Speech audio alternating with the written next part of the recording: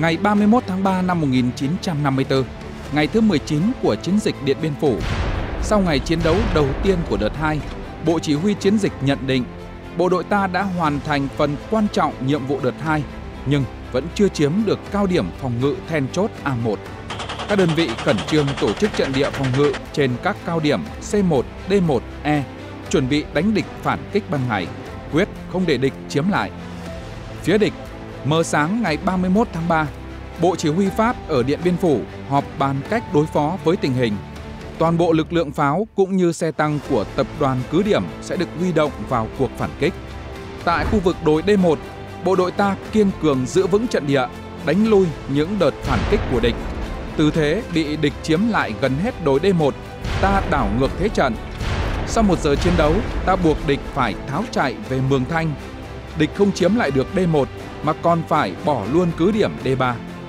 Tại C1, quân ta đánh lui nhiều đợt phản kích của địch từ C2 lên, hòng chiếm lại cao điểm này. 16 giờ, địch buộc phải rút lui khỏi C1, bị ta tiêu diệt gần 100 tên.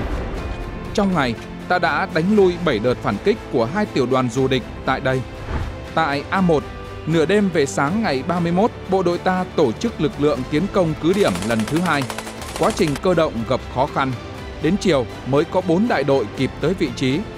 Ta không dùng pháo bắn phá mà tập trung hỏa lực trợ chiến bắn uy hiếp địch rồi cho bộ đội xung phong nhanh chóng chiếm được nửa cứ điểm ở phía đông.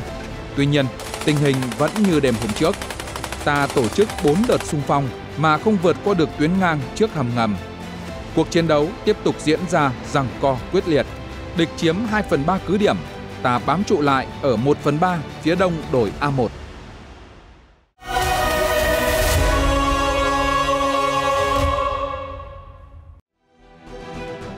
Trong lịch sử thế giới cận hiện đại, chiến thắng Điện Biên Phủ của nhân dân Việt Nam được coi là sự kiện nổi bật, có tác động ảnh hưởng lớn đến tình hình quân sự chính trị thế giới nhiều thập kỷ qua.